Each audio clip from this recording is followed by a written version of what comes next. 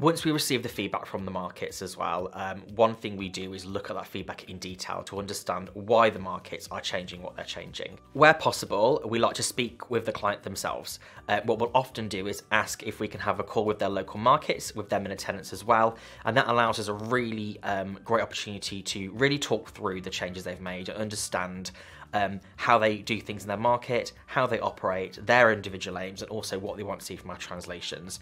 We find when we collaborate with the client's local markets, it really helps them to buy into the translation process. Um, with everyone bought in and engaged, this allows everyone to do their jobs better. It allows the client to accomplish their goals. It allows us to um, provide the best translations possible um, that are suitable for the client and appropriate for their requirements, and um, helps the client achieve their business objective. All in all, a big win.